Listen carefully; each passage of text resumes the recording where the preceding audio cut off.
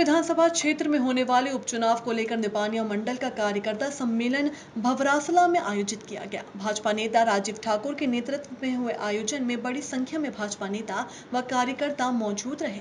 मंत्री तुलसीराम सिलावट सहित सभी वक्ताओं ने इस दौरान आगामी चुनाव में भाजपा को जिताने का आह्वान किया है। वहीं इस दौरान मंत्री तुलसी सिलावट सहित रमेश मैंदोला, डॉक्टर राजेश सोनकर, सांसद शंकर लालवानी सहित बड़ी संख्या में नेता कार्यकर्ता उपस्थित रहे।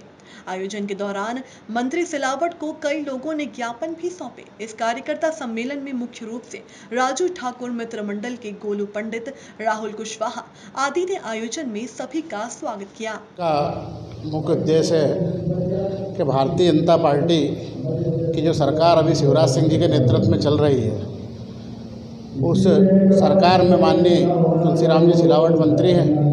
और हमारी सांवेर विधानसभा के एक ऊर्जावान नेता हैं, विधायक होने के साथ साथ ही। और हम लोग चाहते हैं भारतीय जनता पार्टी पूरी निपानिया मंडल कि वापस पुनः वो विधायक बने। ऐसी हम सबकी भावना है। उसी के अंतर्गत हमने निपानिया मंडल के अंतर्गत हमारा ये मंडल जो है, निपानिया मंडल कहलाता है। उसमें मेरा दायित्व महामंत्री का है, यहाँ पर भारतीय जनता पार्टी। मंडल में।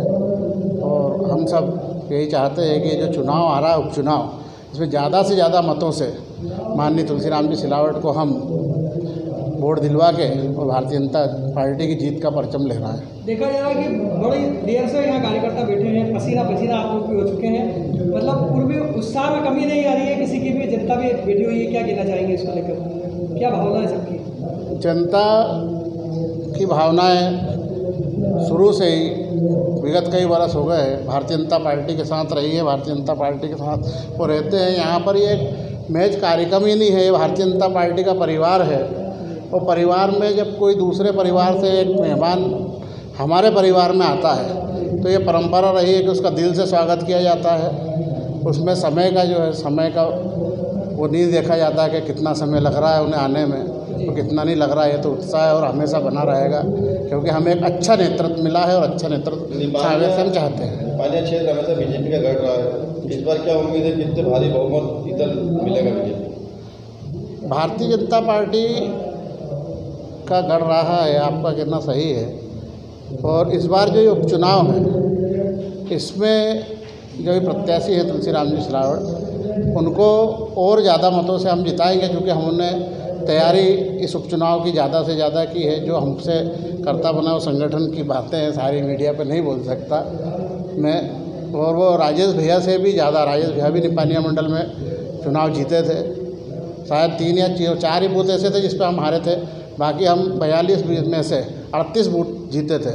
इस बार कोशिश ये रहेगी कि ये चार बूथ भी ना छूटे और जीत का परचम साढ़े बारह बूथों, बयालीस बूथों पर फहराएँगे सम्मेलन एक आत्मविश्वास से एक ऊर्जा से भरा हुआ दिखा आपने। पूरी भारतीय जनता पार्टी एक सूत्र में एक सूत्र में ऊपर से लेकर नीचे तक बंधी ये उत्साह इस बात का प्रतीक है सावेर उपचुनाव के साथ जो मध्य प्रदेश में 24 उपचुनाव हो रहे हैं सब के सब भारतीय जनता पार्टी चुनाव जीते।